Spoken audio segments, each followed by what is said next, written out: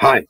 It's official. Double-digit inflation, which is no news to us at the bottom of the economic pile, where it's already been the case for ages, where the basic essentials, bread, milk, pasta and so forth, have risen in price by up to 50%.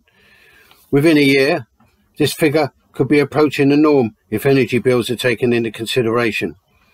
All the establishment political parties have no real solution to the approaching financial meltdown, not to mention the multiple crises leapfrogging each other in seriousness and intensity. So far, after a decade of austerity as background, there's been no resistance worth talking about.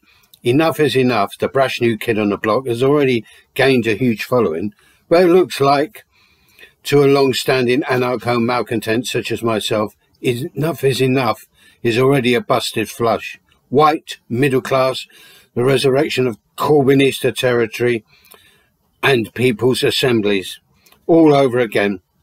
The first time as tragedy, second time as farce.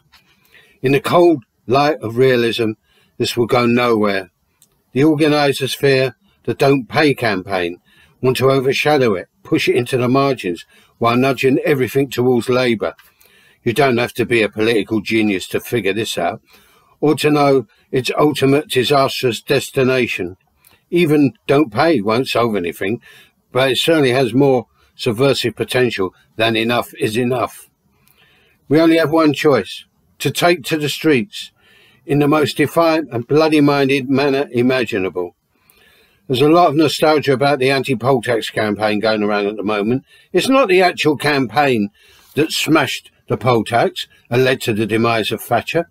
It was a disorder, street clashes, riots, out of control protests, denounced by the left and Labour incidentally, that did the business and had the potential to go much further.